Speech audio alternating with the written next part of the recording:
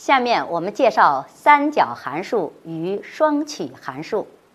四、三角函数与双曲函数定义二点八，称 cosine z 等于二分之一 i z 加一负 i z，sin z 等于二 i 分之一 i z 减一负 i z，分别为余弦函数与正弦函数。从三角函数的定义，我们看到，三角函数 cosine z 和 sin z 都是由指数函数定义的。那么，它有一些什么样的性质呢？我们再看一下，当 z 等于实数 x 时，它与实函数的三角函数是一致的。由定义和指数函数的性质，我们容易知道，cosine z 和 sin z 在整个负平面上是处处解析的，而且，sin z 的导数等于 cos z，cos z 的导数等于负的 sin z，这个性质跟 z 取实变量 x 的时候是一致的。关于它们的奇偶性也是同实函数是一致的，还有它们的周期性也是与实函数一致的，是以二派为周期的，即。Sin z 加二 k 派等于 sin z，cos z 加二 k 派等于 cos z，k 为整数。在这里，cos z 和 sin z 与实变量函数里的 cos x 和 sin x 有一个本质的区别。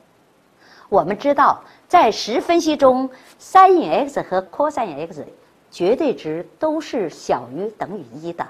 即 sin x 和 cos x 是有界的函数，但是在负分析中，它们的有界性被破坏了。如若取 z 等于 i y，y 不等于零时，我们有 cos iy 等于二分之一 i i y 加一负 i i y 等于二分之一负 y 加一 y。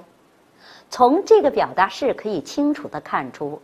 只要 y 的模充分大 cosii y 的模就可以大于任意一个预先给定的正数。同理，也可以说明 sin z 在负平面上是无界的。关于它们，我们有这样的一些恒等关系，我们看一下。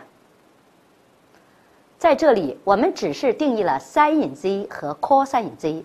当有了 sin z 和 cos z 的定义。我们可以定义其他负三角函数，比如说 tan z 等于 sin z 比上 cos z，cot z 等于 cos z 比 sin z，sec z 等于 cos z 分之一，cosec z 等于 sin z 分之一。最后，我们介绍双曲函数，在实分析中，双曲函数是不被重视的。因为它是指数函数的组合，但在复函数中，双曲函数对映射是很重要的。定义二点九称 s h z 等于二分之一 z 减一负 z，c h z 等于二分之一 z 加一负 z，t h z 等于 s h z 比 c h z。分别为双曲正弦、双曲余弦和双曲正切函数。定义我们给出来了，下面我们再考察一下它的解析性。我们可以把双曲正弦、双曲余弦和双曲正切函数分别写成负 i sin i z、cosine i z、负 i tan i z。那么从这些表达式，我们可以看到。双曲正弦和双曲余弦是在整个复平面上处处解析的，并且有双曲正弦函数的导数等于双曲余弦，双曲余弦函数的导数等于双曲正弦。而双曲正切呢，它在整个复平面上，除去 z 等于 k 加二分之一派 i，k 为整数是处处解析的，并且。双曲正切函数的导数等于双曲余弦函数的平方，分之一。这些性质大家可以去验证一下。由双曲函数的定义和指数函数的周期性，我们知道双曲函数也具有周期性。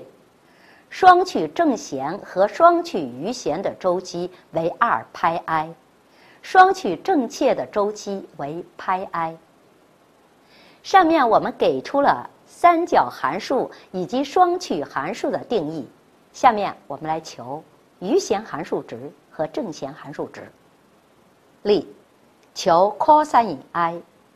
根据定义，cosine i 等于二分之一 i i 加一负 i i 等于二分之一负一加一。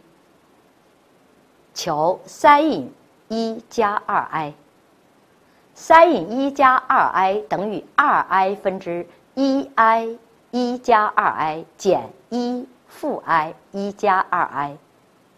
计算以后，它等于二分之一平方减一负平方乘 sin 一加 i 二分之一平方减一负二次方 cos 一。